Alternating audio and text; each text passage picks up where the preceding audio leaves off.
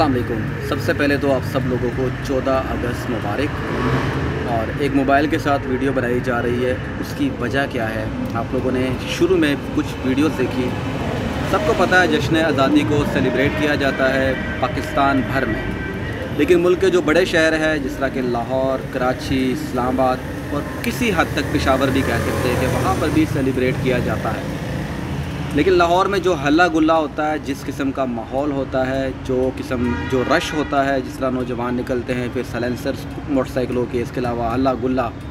और मुख्तलिफ़ पॉइंट से लाहौर के अंदर वहाँ पर जाते हैं, रश बनाते हैं, उसका एक अलग ही मज़ा होता है। आज जब मैं आया यहाँ पर, मैं ख़ुद बाइक पर था और मैंने देखा जो माहौल था, यहाँ पर ऑब्ज़र्व कर रहा था उसको, नेगेटिव चीज़ें बहुत ज़्यादा थी। कौन सी नेगेटिव चीज़ें? अभी आप लोग एक वीडियो देखे, जिसमें चंद लड़के हैं, मोटरसाइकिल उनके पास है, और उसमें से धुआँ निकल रहे हैं, एक ख़ास किस्म का धुआँ है, और वो वहाँ पे बहुत सारे लोग खड़े हैं। कोरोना की सिचुएशन अलग है, पाकिस्तान की जो इन्वायरमेंटल सिचुएशन है, वो भी इंतहाई ख़तरनाक हद तक जा चुकी है। ठीक है प्लांटेशन कर रही है गवर्नमेंट लेकिन उसके बावजूद ये हरकत की जा रही है, आप लोग देखें। हम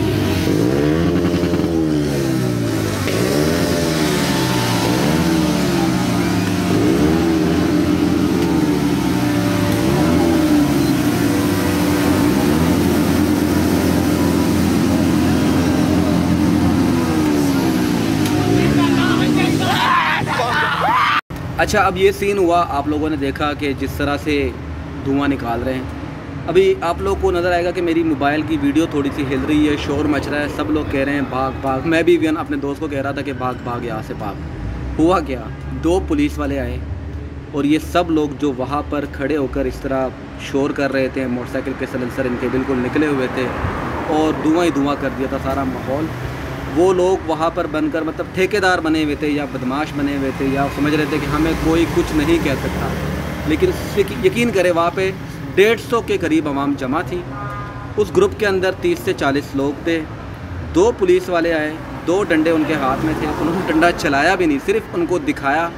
सब के सब भाग गए। दो जो मेन वहाँ पे जो उनके कल्प्रिट थे, जो मेन उनके हेड थे, जो वहाँ पर माहौल को इस तरह बना रहे थे।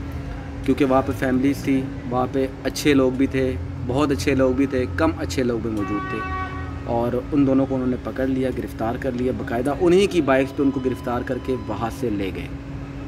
इसके अलावा, ये जो बाजे बजाए जाते हैं, मैंने ख़ुद देखा कुछ लड़के, जो फैमिलीज़ बैठी हुई थी गाड़ियों के अंदर, वो लड़के गए उन गाड़ियों के पास और वहाँ पर कर वो जो ख़ास किस्म का बाजा, जिसकी आवाज़ बहुत ही बुरी होती है, कानों को बहुत बुरी महसूस होती है वो उनके पास जाके बजा रहे हैं। उनको तंग कर रहे हैं। उनको एक किस्म का हरासा कर रहे हैं और ये हमारा योम आज़ादी है। ये आप लोग याद रखें। कोई शादी नहीं है, कोई इस तरह की महफ़िल नहीं है। तीसरी बात, मैंने नाके पे देखा, वहाँ पे मैं वीडियोस नहीं बना सका। कुछ लोगों के, कुछ लड़कों की गाड़ियों से बाकायदा शराब की बोतलें निकली, चर्स निकली, शराब की बोतलें निकली। वो क्या कर रहे हैं? सबको पता है कि जो ज़्यादा हुल्लड़बाजी करता है, उसने पी होती है।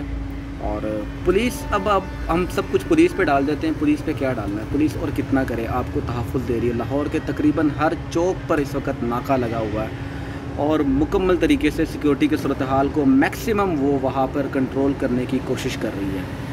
आतशबाजी जो कि मना है, आजकल वैसे ही हालात कुछ इस तरह के नहीं हैं, लेकिन मैंने देखा कि सत्तर अस्सी लोग हैं। ज़ाहिर से, ज़ाहिर सी बात है, वहाँ पे ट्रैफ़िक वार्डन खड़ा था। उसके पास इतना इख्तियार नहीं होता कि इनको पकड़ सके।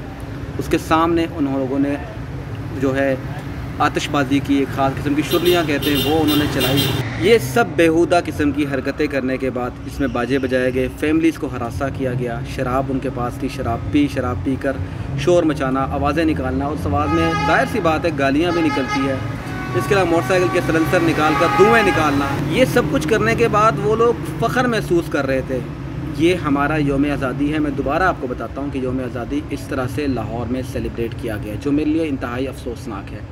खुशी का दिन है, आज़ादी मिली हम लोगों को, बहुत अच्छी बात है। आप लोग अगर आज़ादी की रहमत से, आज़ादी की अहमियत से, आज़ादी की कदर से अगर आप लोग वाकिफ़ नहीं हैं तो आप फ़लस्तीन की सूरत हाल देख सकते हैं, बोसनिया, चीचनिया की सूरत हाल देख सकते हैं, बर्मा के अंदर इवन सूरत हाल देख सकते हैं। इसके अलावा हमारे जो हमसाए हिंदुस्तान वहाँ पर जो मुसलमानों पर गुजर रही है, उनकी सूरत हाल देख सकते हैं। और बहुत सी मिसालें अफ़गानिस्तान के अंदर आप देख सकते हैं कि वहाँ भी आज़ादी नहीं है, मुकम्मल तौर पर वो आज़ाद नहीं है। और सबसे बड़ी एग्ज़ाम्पल, कश्मीर। कश्मीर जो कि तीन सौ पैंसठ दिन गुज़र चुके हैं, वहाँ पर लॉकडाउन है, वहाँ पर इंटरनेट नहीं है, वहाँ पर टीवी नहीं है, अखबार नहीं आ रहा, लोग नहीं निकल सकते, जुलूस नहीं निकाल सकते। वहाँ के बड़े बड़े रहनुमाओं को जो गिरफ़्तार कर लिया गया है। इसके अलावा ख़वातीन के साथ, बच्चों के साथ जो सलूक किया जा रहा है, उसकी वीडियोज़ आई, आप लोगों ने देखी है। वजह क्या है? आज़ादी नहीं है। आज़ादी बहुत बड़ी नेमत है, इसकी कदर करनी चाहिए, इसके ऊपर जश्न मनाना चाहिए, ये कि लेकिन ये जश्न का तरीका नहीं है। एक चीज़ मुझे पॉजिटिव नज़र आई, एक उम्मीद, एक खुशी, एक बहुत ही अच्छी चीज़ जो मुझे पसंद आई। अभी आप लोग एक गाड़ी देख रहे हैं, इससे पहले भी देख चुके हैं। इन्होंने कश्मीर के झंडे लगाए हुए थे। इस इस जश्न आज़ादी के मौका पर 2020 के मौका पर, जहाँ पाकिस्तान के झंडे थे, वहाँ पर कश्मीर के भी बेशुमार झंडे मोटरसाइकिलों के ऊपर, गाड़ियों के ऊपर, पैदल लोगों के पास उनके हाथों में थे, वो लहरा रहे थे। जिससे ये किसी न किसी तरीके से तासर मिलता है कि यार कश्मीर की अब उम्मीद पैदा हो गई है। हम आज़ाद हैं इस मुल्क में, अल्लाह का लाख लाख शुक्र है। लेकिन कश्मीर हमारे शाहराग है, कश्मीर के साथ हमारे पता नहीं कितने रिश्ते हैं मज़हब का रिश्ता है, खून का रिश्ता है, इसके अलावा ज़बान का रिश्ता है, हमारी ज़बान एक जैसी है। तो एक उम्मीद एक उम्मीद मेरे दिल में आई कि यार, मेरे ख्याल से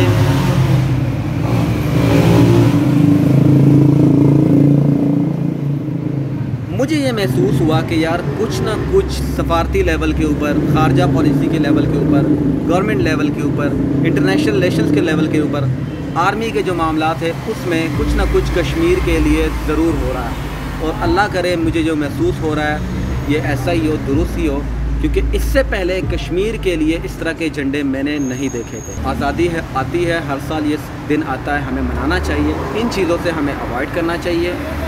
शुक्र अदा करना चाहिए अल्लाह का। इसके अलावा जश्न ज़रूर मनाना चाहिए। एक लिमिट में रहकर अपनी तहज़ीब को, अपनी सकाफ़त को सामने रखते हुए, क्योंकि ये जो वीडियोज़ आप लोग बनाते हैं, ये सिर्फ़ आप तक नहीं, हमसाए ममालिक में जाती है।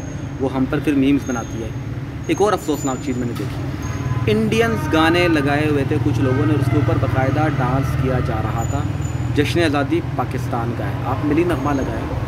बहुत अच्छी बात है। लगाना भी चाहिए, उसका तुक भी बनता है। लेकिन इंडियन गाने इस मौके के ऊपर प्लीज़ थोड़ा सा एहतियात करें। एहतियात करेंगे इन आपका, मेरा, पाकिस्तान का, इस मुल्क का, इस मुल्क की अफवाज का, इस मुल्क की पार्लियामेंट का, इसकी हुकूमत का एक अच्छा मस्बत चेहरा पूरी दुनिया के सामने जाएगा।